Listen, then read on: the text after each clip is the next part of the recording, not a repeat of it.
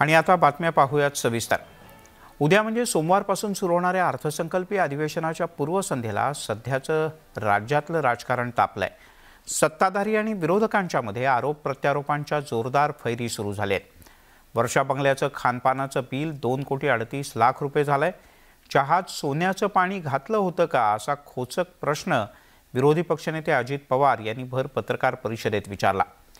अजित पवार यांच्या या प्रश्नाला मुख्यमंत्र्यांनी सुद्धा प्रत्युत्तर दिलंय. सरकारकडून करण्यात येणाऱ्या जाहिरातबाजीबद्दल सुद्धा अजितदादांनी टीका केली. शेतकरी संकटात असताना सरकार जाहिरातींमध्ये मशगूल असल्याचं ते म्हणाले. याही आरोपांना मुख्यमंत्र्यांनी उत्तर दिलं. महाविकास आघाडीच्या काळात जाहिरातींवर किती खर्च झाला असा प्रतिप्रश्नही त्यांनी उपस्थित केला.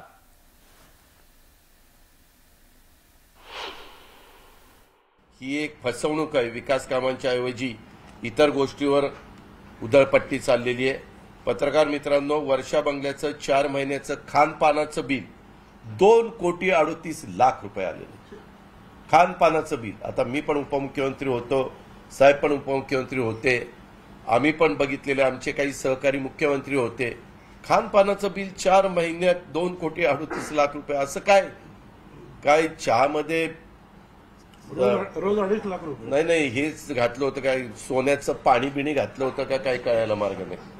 पण म्हणतात ना ते पानात काहीतरी सोन्याचं असं? वर घालतात तसं काही केलंय का? वर्षा बंगल्यावर म्हणाले किती कोटी रुपये दिले? दोन कोटी. दोन कोटी काहीतरी चाळीस. सोन्याचा चमचा नाही सोन्याचा चमचा घेऊन नाही आलो आम्ही.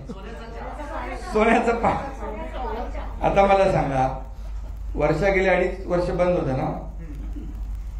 आता सहा सात महिन्यापासून सुरू आहे ना? लोक येतात राज्यभरातून येतात.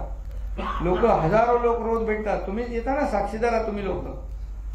आणि आल्यानंतर काय त्याला पाणी पण नाही द्यायचं चहा द्यायचा नाही. आम्ही काय बिर्याणी बिर्याणी नाही देत तिकडं.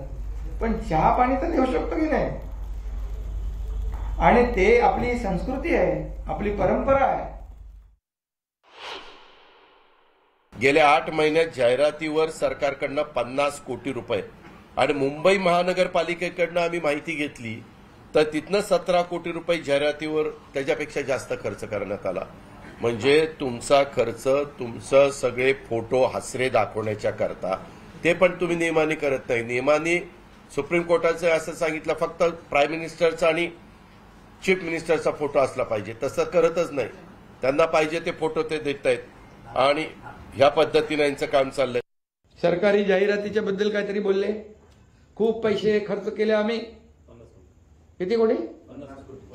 दोनशे पंच किती होते त्यांचे? दोनशे पंचेचाळीस कोटी रुपयाचं त्या नियोजन त्यांनी जाहिरातींसाठी केलं होतं. अजित पवार. पवारांनी आणि त्यांचं सोशल मीडियासाठी सहा कोटीची तरतूद केली होती पण ते बोमाम झाल्यानंतर ते रद्द केलं. स्वतःचा प्रचार करायला. अरे असं आम्ही नाही करत कधी. महाराष्ट्र आपलं आहे. आपलं कुटुंब फक्त आपल्याला धरून नाही चालत. हे बघा ना तुम्ही. आणि ते झाल्यानंतर मला आठवत आहे की पृथ्वीराज बाबांचं ते सह्या करत नव्हते त्यांचं ते असं पेन धरून ती जाहिरात केली होती या लोकांनीच. बरोबर ना? आणि दुसरं अशोक पर्व. तिथं तर किती मोठ्या प्रमाणावर जाहिराती सुरू झाल्या होत्या. पण त्यात मला जायचं नाही. विधिमंडळाच्या अधिवेशनाआधी विरोधक आणि सत्ताधाऱ्यांमध्ये आरोप प्रत्यारोपांच्या फैरी झडलेत. अजित पवार यांनी तीन हजार फाईल सहीविना तशाच पडून असल्याचा आरोप केला. तर त्याला प्रत्युत्तर देताना मुख्यमंत्री एकनाथ शिंदे यांनी मी जिथे जातो तिथे सह्या करतो मला अन्य छंद नाहीत असंही सांगितलं. सहाशे अधिकाऱ्यांना सध्या पोस्टिंग पत्रकार मित्रांनो तुम्ही आत्ताच आला. कमीत कमी तीन हजार फाईल सीएम ऑफिसला पडलेल्या आहेत का नाही बघा. सह्यांच्या वाचून सीएम साहेबांच्या ऑफिसला तीन हजार फाईल पडलेल्या आहेत. मी पण अनेकदा मुख्यमंत्र्यांना उपमुख्यमंत्र्यांना विरोधी पक्षनेता म्हणून गेलेलो आहे बोललेलो आहे. आम्ही त्यांच्या आमच्या पण हाताखालनं ते अधिकारी गेलेले आहेत. आमच्याकडे पण कधी काही अधिकाऱ्यांनी काम केलंय. त्यांना आम्ही विचारतो अरे कितीदा यायचं एखाद्या कामाकरता? सार्वजनिक कामाकरता आम्ही पाच पाच वेळेला आलो तरी आमचं काम होत नाही. जर विरोधी पक्षाची भूमी अवस्था असेल तर सर्वसामान्यांचं काय? ते म्हणले दादा करणार काय? फाईलवर सहीच होत नाही त्यांना वेळच नाही. सर्वसामान्यांच्या मुख्यमंत्र्यांनी ह्याही कामाला वेळ दिला पाहिजे. सह्या करतो काय? ऑफिसमध्ये मंत्रालयात करतो वर्षावर करतो. मी जिकडे कार्यक्रमाला जातो तिथेही सह्या करतो मी. मी गाडीतही सह्या करतो. माझ्याकडे कुठलंही पेंडिंग नाही कारण मला दुसरा काही छंद नाही आहे दरम्यान उपमुख्यमंत्री देवेंद्र फडणवीस यांनी ते मुख्यमंत्री असतानाचा एक किस्सा सांगत मुख्यमंत्री कार्यालयात दररोज फाईलचा रतीब असतोच असं म्हटलं. दर आठवड्याला एवढ्याच फायली येतात. याचं कारण सगळ्या मंत्र्यांच्या फायली एका लेवलनंतर या मुख्यमंत्र्यांकडे येतात. त्यामुळे मुख्यमंत्र्यांकडे फायली या नेहमीच दिसतील. कारण आज त्यांनी तीन हजार केले की आठवड्याभरात तीन हजार येणारच आहेत त्यांच्याकडे. वळूयात अन्य काही बातम्यांकडे. मुंबईतल्या वरळी इथल्या जांभोरी मैदानात ठाकरे गटाचा कार्यकर्ता मेळावा पार पडला. या मेळाव्यामध्ये उपस्थित ठाकरे गटाच्या कार्यकर्त्यांना संबोधित करताना आदित्य ठाकरे यांनी कटआउट बॅनर हे विरोधकांना लावू देत आपण असं करायचं नाही ती आपली संस्कृती नाही.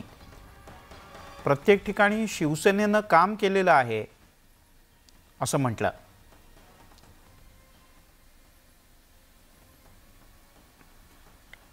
बरं इकडचे वरळीचे किती आहेत? भायखळा शिवडी आता बघा जरा प्रश्न सांगतो मी. तुम्ही त्यांची गर्दी खुर्च्यांची दाखवली. आता आमची गर्दी लोकांची दाखवा जनतेची दाखवा. वरळीचा आमदार म्हणून मी सांगू शकतो प्रत्येक गल्लीत मला न्या तुम्ही कुठे ना कुठेतरी आपलं चांगलं काम झालेलंच आहे हे मी तुम्हाला अभिमानाने सांगू शकतो. मग आमच्या कोळीवाड्यात न्या आमच्या बीडीडी चाळीत न्या इथे पोलीस कॅम्पात न्या इथे अनेक वेगळ्या वेगळ्या गल्ल्यांमध्ये जरी गेलं तर ते तुम्हाला कळेल की शिवसेनेचं इथे काम झालेलं आणि मी म्हणजे मी नाही तर शिवसेना आणि शिवसेनेने इथे काम केलेलं आहे. हे तुम्हाला प्रत्येक वरळीकर सांगेल आणि तुम्हाला अभिमानाने सांगेल की होय माझ्या शिवसेनेने काम केलेलं आहे. इकडचं येताना मी वरळी शिवडी कनेक्टर बघत होतो. पांडुरंग बुतकर मार्गवर ब्युटिफिकेशन जे केलं ते बघत होतो. सुशोभीकरण अनेक वेगळ्या वेगळ्या छोट्या मैदानामध्ये केलं असेल फुटपाथवर केलं असेल भिंती रंगवल्या असतील आपली अभ्यास गल्ली त्याचं कौतुक वेगळ्या वेगळ्या पेपरमध्ये झालेलं आहे. ह्या सगळ्या गोष्टी झालेल्याच आहेत. पण हे सगळं होत असताना सगळं लक्ष जे लागलेलं आहे ते वरळीत कार्यक्रम करायचे. भाजपचं असेल किंवा गद्दार गँगचं असेल वरळीतच कार्यक्रम करायचे आणि वरळीतच खर्च व्हायचा. मी तर मोठं एक होर्डिंग लावणार आहे. होऊ द्या खर्च. आपण वरळीला सुंदर ठेवलेलं आहे स्वच्छ ठेवलेलं आहे. आपण जास्ती बॅनर आणि कटआउट लावायचे नाहीत कारण ही मुंबईची संस्कृती नाही आहे तिकडे अर्थसंकल्पीय अधिवेशनात ठाकरे विरुद्ध शिंदे असा जोरदार सामना रंगणार. कारण अर्थसंकल्पीय अधिवेशनासाठी शिवसेनेचे प्रतोद भरत गोगावले. यांनी सर्व आमदारांच्या करता एक व्हीप बजावलाय. यात ठाकरे गटाच्या आमदारांचाही समावेश आहे.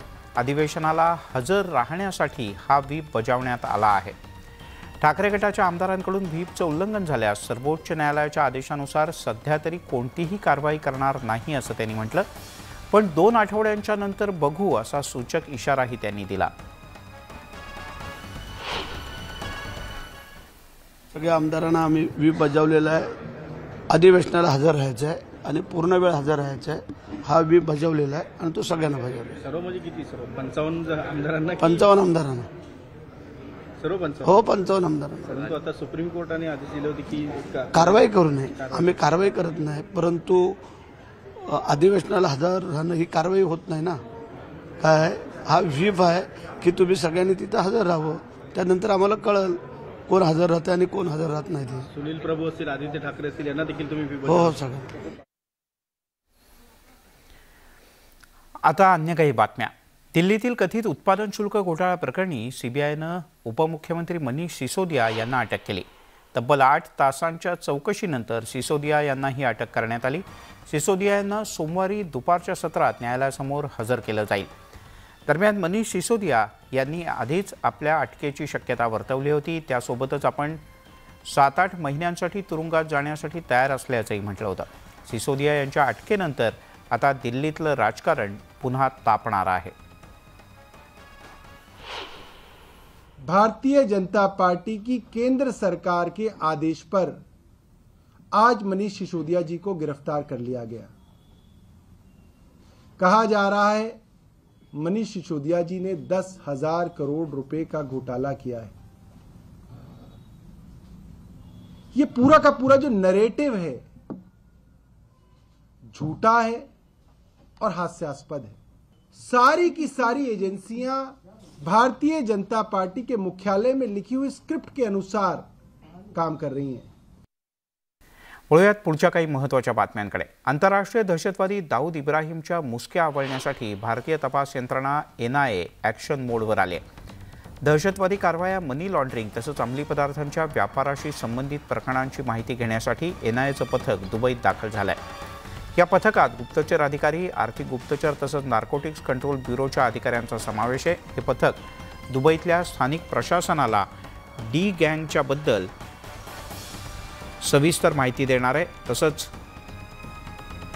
दुबईत राहून भारतविरोधी कारवाया करणाऱ्या दहशतवादी तसंच गँगस्टरच्या विरोधात कारवाईची मागणी करण्यात येणार आहे. एन आय एनं गेल्या वर्षी दोन हजार बावीसमध्ये अंडरवर्ल्डचा डॉन दाऊद इब्राहिमसह अन्य आरोपींच्या विरोधात यू ए पी ए कायद्याच्या अंतर्गत गुन्हे दाखल केलेत.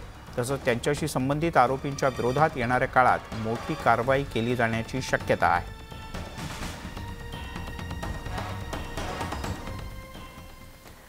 देशातील बिघडलेल्या आर्थिक परिस्थितीच्या पार्श्वभूमीवर आरबीआयनं काही सहकारी बँकांवर निर्बंध घालण्याचा निर्णय घेतला आहे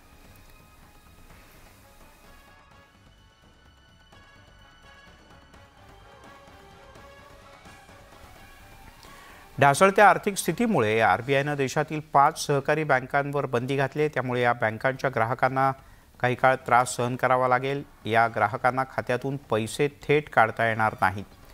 आर बी आयनं घातलेल्या या बंदीमुळे या बँकांमधून पैसे काढणं तुर्तास तरी पूर्णपणे थांबलं आहे बँकांवरची ही बंदी सहा महिने कायम राहणार असल्याचं सांगितलं जात आहे. पण लवकरच पुढचा योग्य तो निर्णय घेऊ असंही आर बी आयनं म्हटलं आहे आर बी आयच्या परवानगीशिवाय कोणालाही नवीन कर्ज आता या बँका देऊ शकणार नाहीत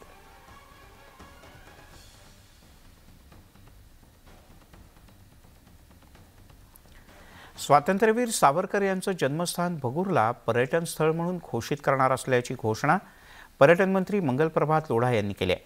तसंच भगूरमध्ये भव्य सावरकर स्मारक तसंच आंतरराष्ट्रीय संग्रहालय आणि थीम पार्क उभारणार असल्याची घोषणाही मंत्री मंगलप्रभात लोढा यांनी केली. सावरकर आत्मसमर्पण दिनाच्या निमित्तानं पर्यटन विभागाच्या माध्यमातून आयोजित पदयात्रा आणि अभिवादन कार्यक्रमाला संबोधित करताना लोढा यांनी घोषणा केली आहे. सावरकरांचं जीवनकार्य जगभर पोहोचवण्यासाठीच्या प्रयत्नांतर्गत वीर सावरकर पर्यटन सर्किटची निर्मिती करण्याच्याबद्दलचं सुतोवाच लोढा यांनी केलं आहे.